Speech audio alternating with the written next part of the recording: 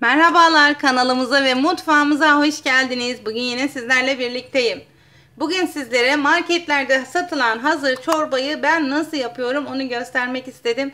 Belki biliyorsunuzdur sizler de öyle yapıyorsunuzdur ama e, bilmeyenler veya ailesinden uzakta okuyan gençlerimiz için değişik bir tarif olur belki diyerekten e, paylaşmak istedim. Dilerseniz hemen yapımına geçelim.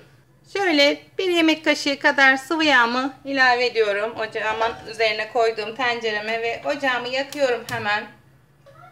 Bir tatlı kaşığı domates salçasını ilave edip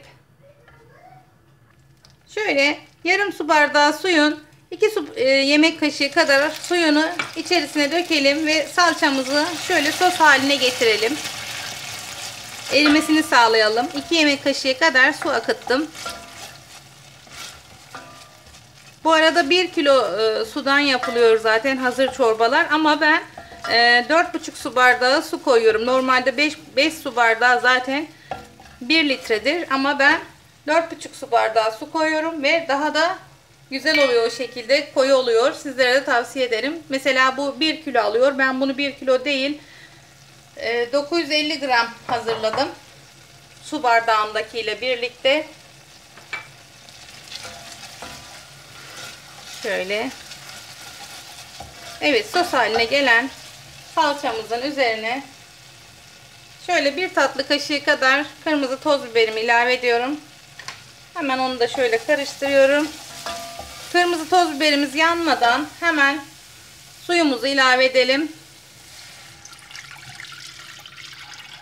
Bu arada suyumuz normal çeşme suyu ve yarım su bardağı suyumuzu da ilave ediyoruz. Bu bardakla 1 e, kilo su ölçeriniz yoksa bu bardakla 5 su bardağı su zaten 1 kilo yapıyor. Yalnız ben 4 su bardağı dolusu bundan koyuyorum. Bir de yarım su bardağı su koyuyorum. Ve şimdi kaşığımızı alalım.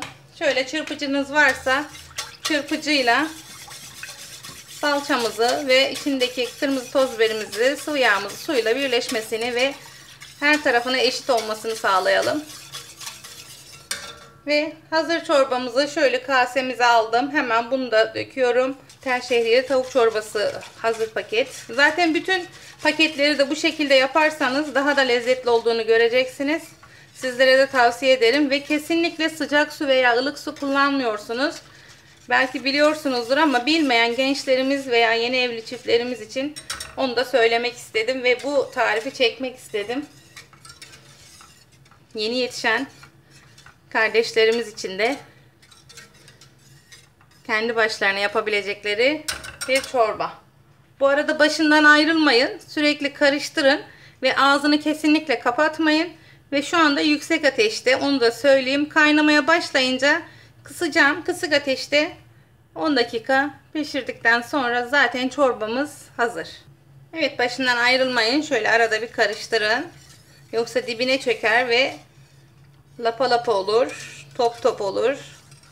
Onun için şöyle arada bir karıştırın. Her türlü çorbayı bu şekilde karıştırarak pişirirseniz daha da lezzetli olur ve topak topak olmaz içerisinde. Evet çorbamız gördüğünüz gibi kaynamaya başladı. Böyle bu şekilde başından ayrılmadan karıştırırken bir de şöyle göstereceğim. Tereyağını ben bu şekilde hazırlıyorum. Böyle bütün aldığımda parça parça yapıyorum. Kare kare.